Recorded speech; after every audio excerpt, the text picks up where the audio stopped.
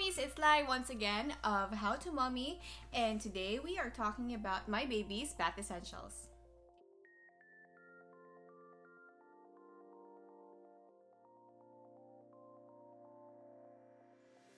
So I just want to share with you the products that I use for my baby whenever he's taking a bath. He takes a bath every morning and every night, so that's twice a day kasi super init sa where we live. So pinagpapawisan siya and medyo sensitive yung skin ng baby ko. So he has to take a bath talaga or else nangangati siya wherever, whenever nagpapawisan siya which is usually sa neck niya. Lagi siya kamot ng kamot. So I make sure that he really takes a bath at night bago siya matulog. Kasi, um, uh, I don't really, I'm not very much into sponge baths. And every morning, we really give him a bath bago kami umalis. So, basically, I'm just gonna go straight to the point. My baby is a Cetaphil baby, but this video is not sponsored. Pero, um, gusto ko lang talaga siyang i-share because it is very, very much highly recommended by my baby's pedia. Tapos, alam ko may bagong uso ngayon. There is a new product launched by a very famous brand. Kaso lang, hindi ko pa siya na-try. Hindi ko pa din siya nagamit at all ever. So, I'm just gonna talk about Cetaphil for this video. If ever I will be able to discover a better bath essential or bath product for my baby, then I will also share it with you. But for now, yun na nga, let's start. First, I use a bathtub. Uh, it's not with me right now kasi uh, it's so huge na sa bathroom.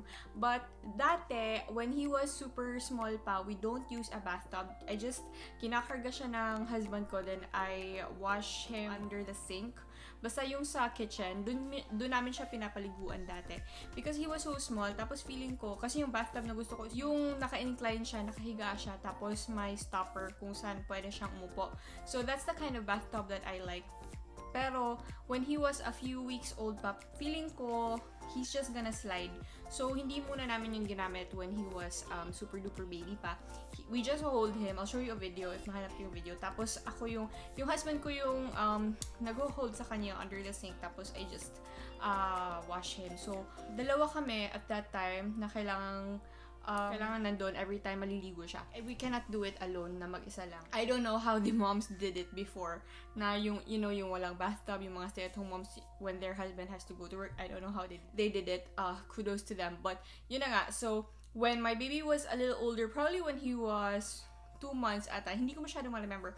But, um, just look for cues if your baby is feeling nyo marunong na siyang mag-hold, medyo nasa support na niya yung self niya, lying down inclined, yung hindi na siya nagsaslide, uh, then you can use the bathtub. For me, I use this. Super helpful talaga. Ever since we bought the bathtub, pwede nang um, paliguan si baby ng mag-isa. Like, ako lang mag-isa, kaya ko because I just leave him there tapos hindi kasi siya yung type na malikot yung gustong mag-roll over or gustong bumangon or or or umupo hanggang ngayon na he is already 15 months old so the bathtub is really really useful and if gusto mong may water yung tub pwede because you can uh, there is a parang stopper yung parang hindi siya nagde-drain tapos if gusto mo namang every time you put water it just drains pwede din because you just open the parang stopper yung rubber na drain sa ano sa bottom part.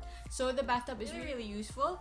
Nabili ko sa department store. Um I think meron sa baby company. Basta yung sa akin, nabili ko sa uh, SM department store, which is like baby company din, diba? Next is, I need uh, shampoo. Um, at first, hindi kami nagsha-shampoo because the baby is really sensitive, diba, and all.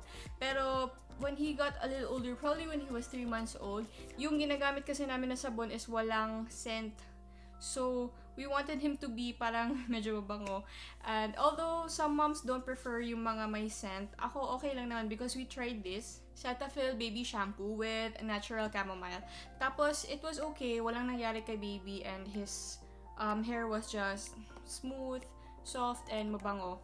So, this was okay. I highly recommend this. You will think it is pricey pero sobrang tagal niyang maubos kasi you just put like parang 25 cents, ganun, ganun lang kaliit sa palm niyo tapos you rub it konti para mag-make siya ng bubbles.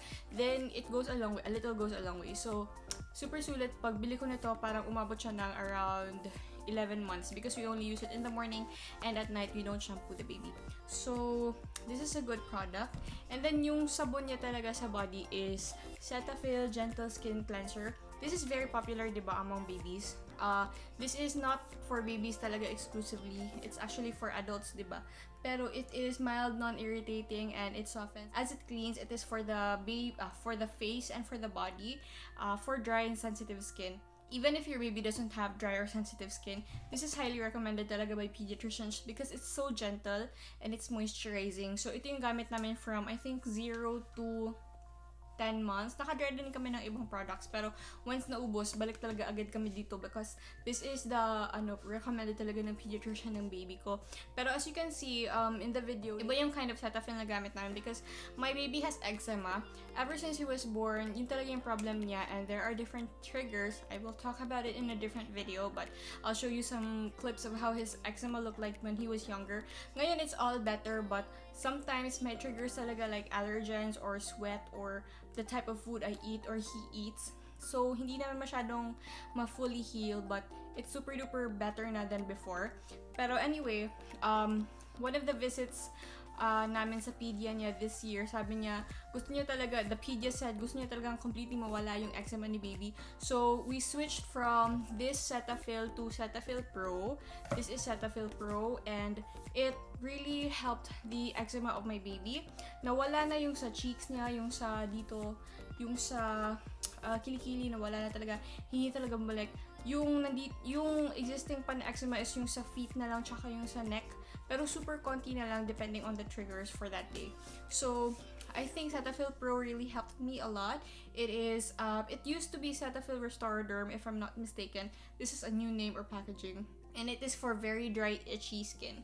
So, it it's um, actually better. Mas gusto ko siya kaysa dun sa Gentle Skin Cleanser but of course this is more expensive.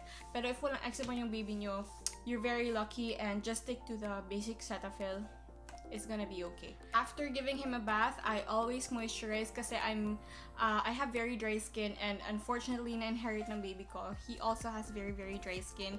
Kaya siya may eczema, nangangate siya lagi. Uh, aside from his allergies, he really really has dry skin so I have to moisturize him with Cetaphil moisturizing cream. I know there is Cetaphil moisturizing lotion pero uh, this is creamier, mas thick siya, mas maganda yung ano niya um, yung pag-moisturize niya sa skin. So, I put, especially sa feet niya, tsaka sa legs, yung sa likod ng tuhod, always sweats there and becomes itchy. And you think if nagsusweat yung baby dyan, you're not supposed to moisturize it. You're supposed to moisturize the whole body of the baby, even the face. But it's up to you. But yung para sa akin, I will have to moisturize talaga the whole body of my baby. And I use Cetaphil Moisturizing Cream. Other bath essentials ni baby, um, because wala kami dry changing table, we just dry him sa bed. We need to put something para hindi mabasa yung bed namin. So we use this. It's a rubber mat. Um, you can also find this in the baby company or sa SM department store.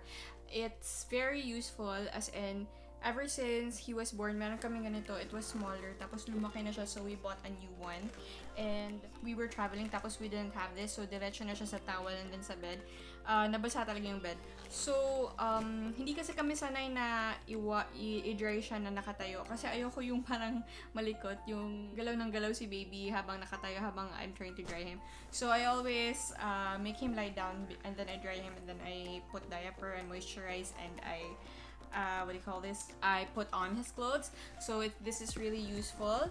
Tapos, his towel. His towel is this hooded towel from Soen. Ayan, ganyan siya.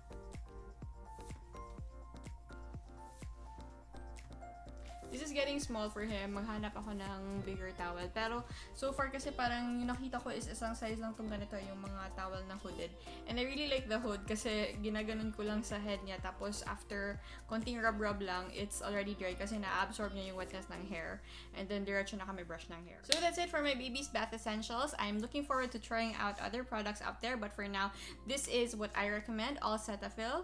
And uh, I hope you enjoyed the video of me giving my baby a bath. Sana may natutunan kayo. And if you're really, really scared of giving your baby a bath, just try to ask for help. But being a first-time mom, kahit uh, wala akong experience before, nagamit ko talaga yung bathtub, yung rubber mat, yung ganitong klaseng towel, yung mga, all of those things that I am already able to give my baby a bath na mag-isa. Kahit ako na mag-isa sa bahay, kaya ko.